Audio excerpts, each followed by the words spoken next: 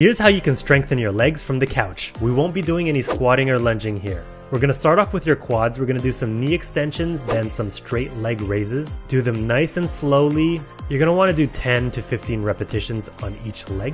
Now for your inner thighs, we're gonna squeeze a pillow and then release. Again, repeat about 10 to 15 times. Now for the side of your hips, we're gonna do some clamshells. These are your side glutes. Now for your rear ones, if your couch is solid enough, do some glute raises. You can also hold for a couple seconds to perform a bridge. Obviously you can do this on the floor or on a yoga mat if your cushions are too soft. Now let's not forget those little muscles below your knees. We're gonna do some heel raises for your calf muscles and some toe raises for your tibialis anterior. Important muscles that are often neglected. And if you can or when you've built enough strength do it, the sit stand is a great overall leg strengthening exercise for beginners.